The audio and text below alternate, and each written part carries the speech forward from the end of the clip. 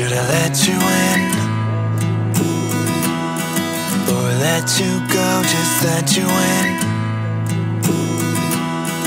Or take it so maybe this time It's different or should I walk away?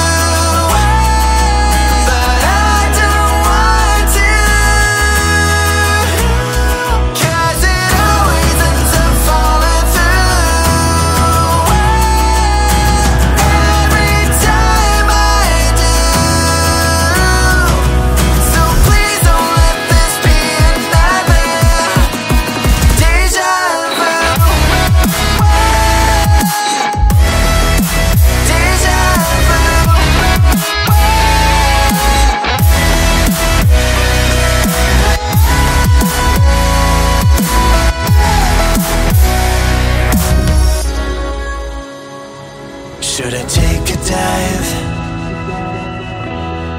into the deep, not knowing if I'll make it out alive as I Could